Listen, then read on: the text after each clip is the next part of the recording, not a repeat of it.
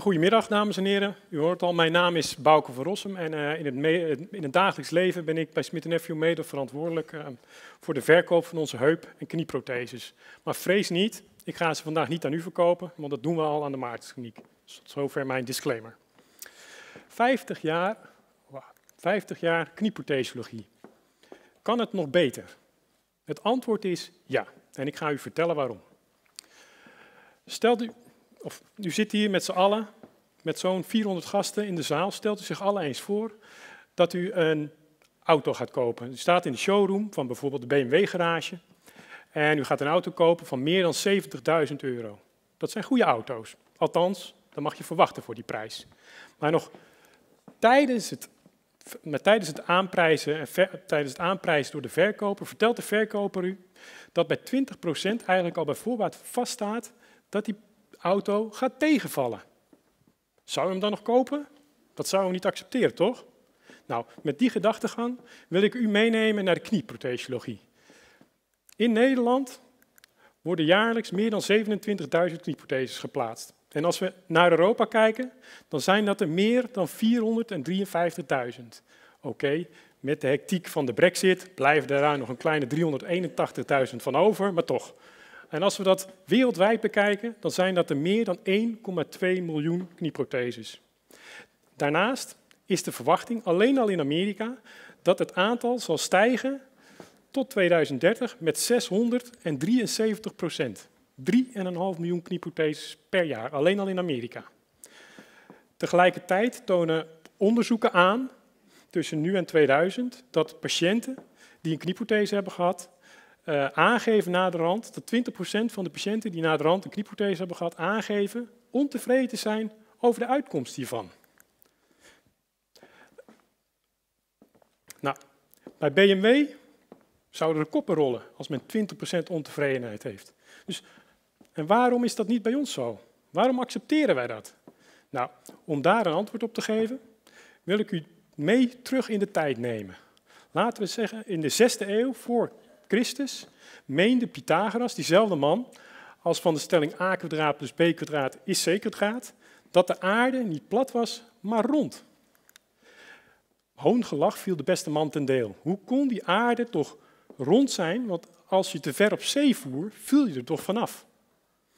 Dus, nou, om een uh, bruggetje te maken naar de knieprothesologie terug.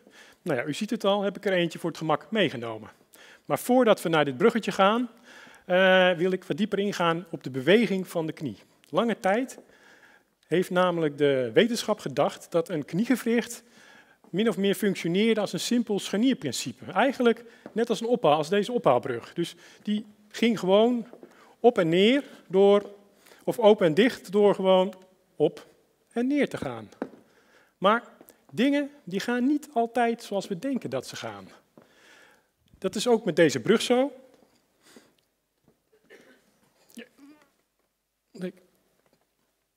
Deze brug die gaat eigenlijk op een hele andere manier open als dat wij in eerste instantie aannamen. Nou, en dat is eigenlijk ook een beetje het geval bij de knieprothesologie. Het heeft na, in, de, in de beginjaren 80, toen uh, werd voor het eerst omschreven dat het kniegewricht wellicht een wat complexere beweging was dan dat simpele deurscharnier, het simpele uh, scharnierprincipe. U kunt zich voorstellen, voorstellen dat er toen eigenlijk, net als bij Pythagoras, werd gereageerd. Men werd niet geloofd. Het heeft namelijk nog tot 2002 geduurd tot ene dokter Williams met behulp van MRI-beelden aantoonde dat inderdaad dat kniegewricht een veel complexere beweging was dan een simpel scharnierprincipe. Stelt u zich eens voor, u rijdt in een auto. En u krijgt een lekke band. Vervangt u die lekke band dan met een vierkant wiel in de verwachting dat hij dan net zo goed zal rijden? Nee, toch? Dus waarom doen we dat dan wel bij een knieprothese?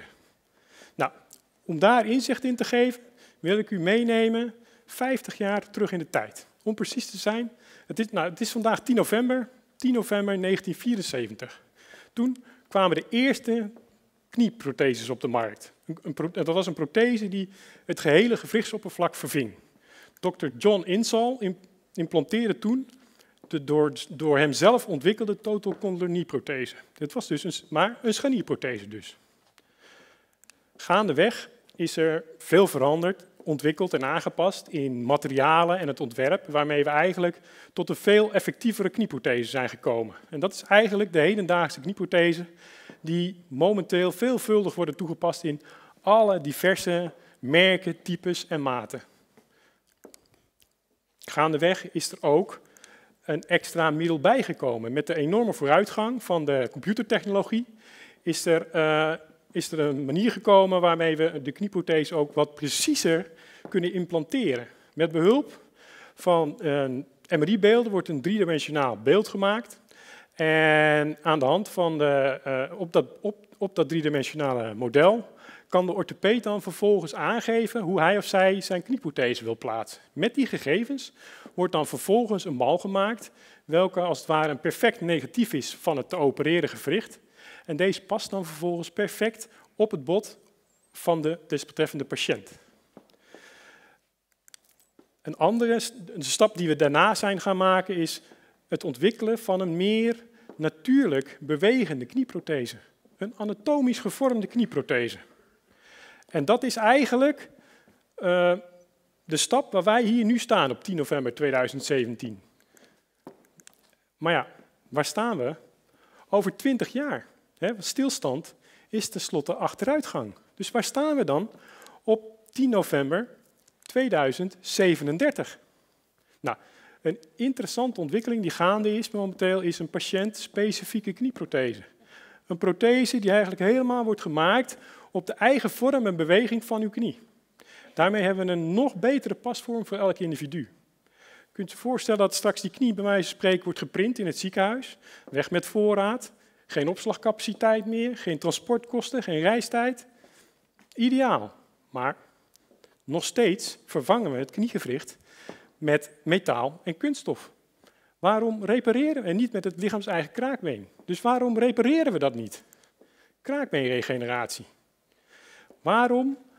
Uh, daarmee, eh, wat we daarmee doen is eigenlijk het, het, het, kraakbeen wat weggekomen is weer opnieuw uh, laten teruggroeien op het, op het versleten gewricht. Maar het allermooiste zou natuurlijk zijn dat we artrose, het proces van, de, het proces van kraakbeenslijtage, kunnen stoppen of zelfs genezen door bijvoorbeeld medicatie. Want, want wat niet slijt, hoef je ook niet te vervangen. En het beste gewricht is nog altijd je eigen gewricht. Dus laten we hopen dat we tegen die tijd kunnen gaan zeggen: A pill a day keeps the orthopedic surgeon away. Maar als dat gaat gebeuren, dan hoeven wij geen knieprotheses meer te verkopen. Dus als u, dus als u hier over 20 jaar, op 10 november 2037, in dezezelfde zaal zit, dan sta ik hier in ieder geval niet meer mijn verhaal te vertellen. Bedankt voor uw aandacht en vaarwel.